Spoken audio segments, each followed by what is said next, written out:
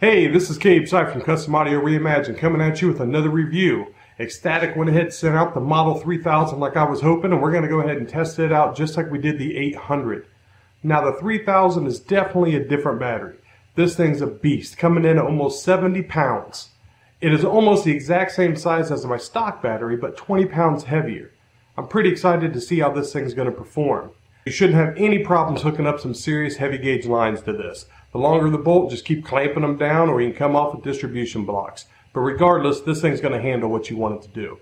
Now, what we're going to do today is we're going to go ahead and put this in my car in place of the Model 800. Pretty excited about getting it in there. And we're going to go ahead and test it with TermLab. We're going to see if we get any gains. We're going to look at the voltages. We're going to do exactly like we did before. So, next thing we need to do is go ahead, and get to the car, get this 800 out, and get this 3000 in. Okay, and here we have the Model 800 in the battery. The standing voltage is 12.37. Let's go ahead and start it up. See the voltage drop, jumps back up. So uh, we're looking at a running voltage of 14.15, 14.17, bounce around that area.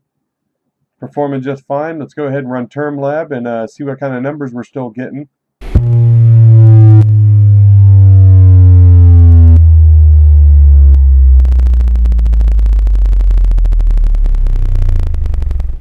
Okay, so our results with the Model 800 are pretty consistent. Our previous numbers was 131.8. Right now we're at 131.3.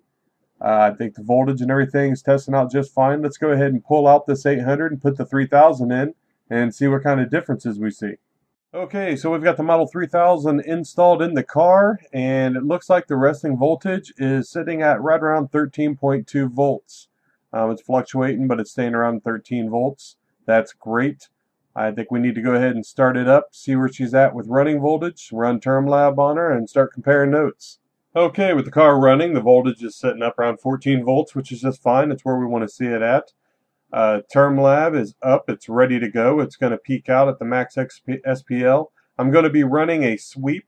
It's 120 hertz down to 20 hertz, just so we can get a peak reading on where we're at.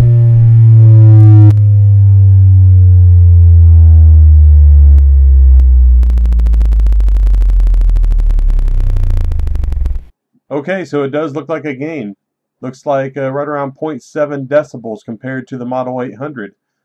Um, I'm kind of interested to see what would happen if I went ahead and tried to hit this on a peak frequency. I'm going to go ahead and burp this with a single note. I want to see if it actually raises. Let's see what happens.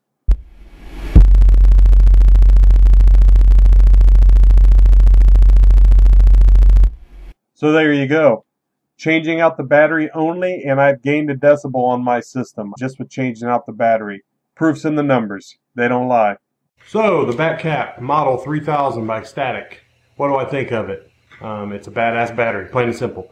Um, the pros of this battery are it's a beast. This battery is big, it's heavy, it's mean. It's just like what you would expect if you needed more power. You're not going to get more power just for wishing for it you're going to have to pay for it in size and weight. And in this battery, you do. Battery is right around nine and a quarter, nine and a half inches with those posts on there, or the uh, actual rods coming out of the battery. So it's pretty tall. I'll be more than happy to modify some MDF to fit this gigantic badass battery.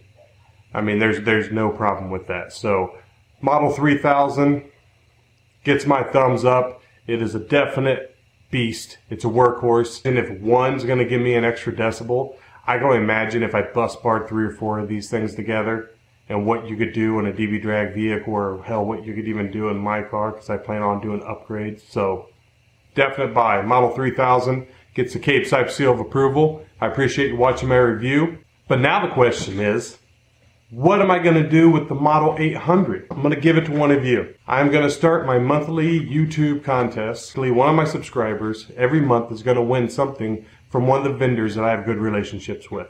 So, somebody's going to get this Model 800. I'm even going to autograph it for you. Autographed by Cabe Sipes and Pimp My Ride. Keep on pimping. So, subscribe to the channel. You want a shot at winning this Model 800, thanks for watching my review. Coming from Atlanta all the way to Indiana with by Cabe Sipes. I'm damn right. On stages, popping collars, I'm making a bigger dollar. When